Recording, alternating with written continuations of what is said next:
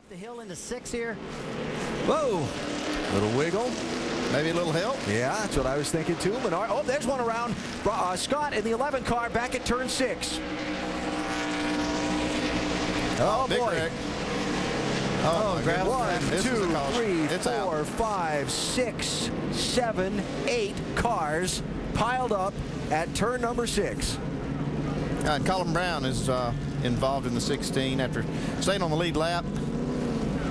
This is just what Carl Edwards wanted, though. I mean, this caution flag is going to let him make it. Well, it's not just Carl. It's all those leaders that pitted there. Uh, I don't think any of them could actually make it if it went green, which uh, doesn't look like there's any chance of that now as we start getting down towards the end. A little more take than give.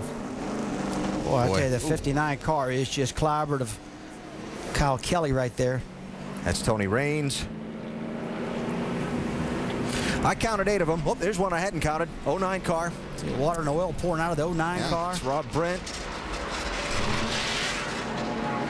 All right, starts around the 11 car. Brian Scott there. You see, they're all two by two. And, oh, Whoa, man, boy. Tony Raines just gets jacked up.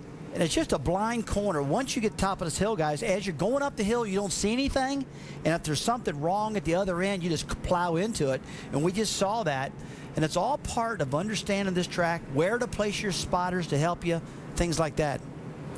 Now, and watch this piling in here. Bang, bang, bang, bang. Stan Barrett going through the gravel. Colin Braun's view. It's up there. Oh, you the inside. he didn't see it developing. Colin Braun gets off in the gravel trap in turn one, gets out of that deal without going a lap down, and loses it all right here. Two words.